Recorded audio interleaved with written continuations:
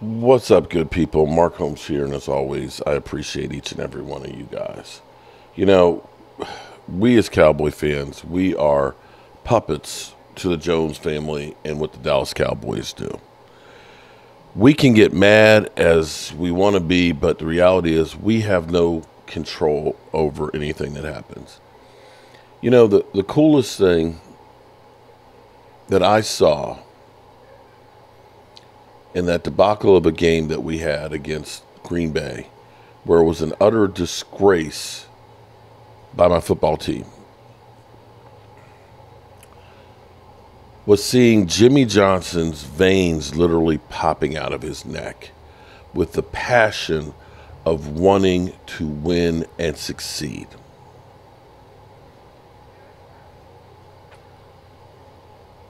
That fire and that passion and that desire to just win, I don't know is just is, is there with the Cowboys. Now, here's what I always say, and this is what Jimmy Johnson would say. If you're going to talk the talk, then walk the walk. I know I'm not a Dallas Cowboys player. I'm not. I know that I'm not any big celebrity or big person that people actually care about. I am relevant in my little world and things, but in my little world, everything that happens is relevant. And when I go out on a limb and I talk smack, I talk smack. I, I, make no bones about it. I make fun of Philly 500 and the Eagles Nation and things like that.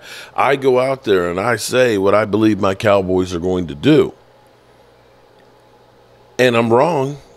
When I'm wrong, I'm right here. I talk the talk and then I walk the walk. I stand up. Believe me. Believe me. I got trolls out there taking clips of me falling out because it literally made me sick. Cowboys made me drink, fall out, and they're making memes, and my wife is even cracking up on it. I take that abuse because I put myself out there. And that is being a man. You want to celebrate when you win? Well, you got to be there when you lose. And see, this is the problem. This is the problem. And, and, people say, go get Bill Belichick, or let's go get Mike Tomlin if he's fired. Bill Belichick and Mike Tomlin aren't going to put up with what's going on here. And I, I honestly think maybe that's what it needs to be.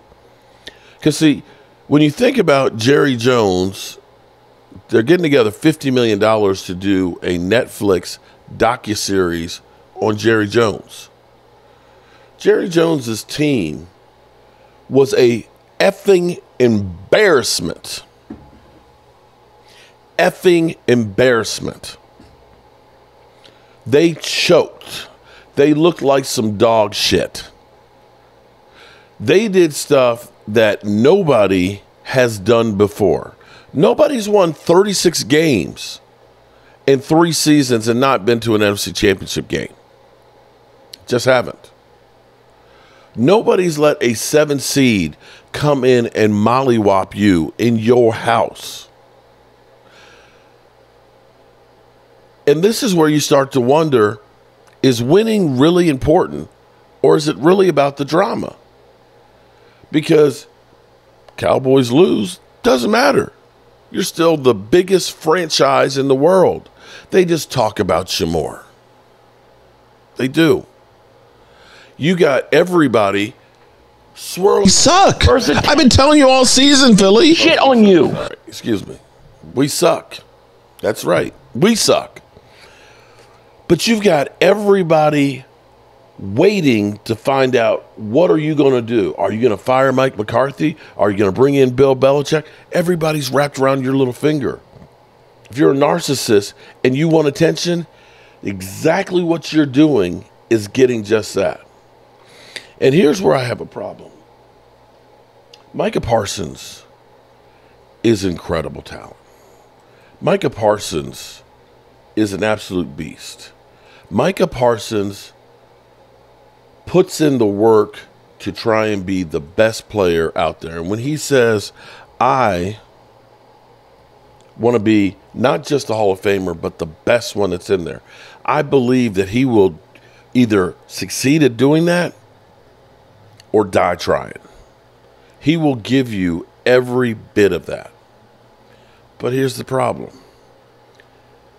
I'm remembering how beginning of the season before when Micah Parsons was going to be on Undisputed. He was going to be a weekly segment on literally the worst thing possible. And the week before he was supposed to start, the Cowboys lost. And he was a no show. If you're going to talk the talk, walk the walk. Now, I think the best thing in the world was that he wasn't on that show. And instead, with Bleacher Report, he comes up with his own weekly podcast. And when I saw the day of the game that Micah Parsons is out there blasting another player on the field like he is one of the talking heads in one of the shows, I knew we were in trouble. That's not your job. That shouldn't be your focus. And if you think that Bill Belichick or some of these other coaches are going to come here to be part of the circus, which is about getting as much publicity as possible as opposed to winning, you're not going to get it. And if Jerry Jones continues to wait and let the vultures just circle and circle and circle, you miss out on things that make you better. They say you cannot change or you will not change. I don't care if they're a dr- alcoholic or a drug addict or sexaholic, that you won't change until you hit rock bottom. I keep hoping that the Cowboys have hit rock bottom, but then we find a way to find a new rock bottom. Jerry, you ain't getting any younger. You ain't getting any younger. Time is short. Time is of the essence. I have lost too many great friends in the last year or two that are a hell of a lot younger than you are.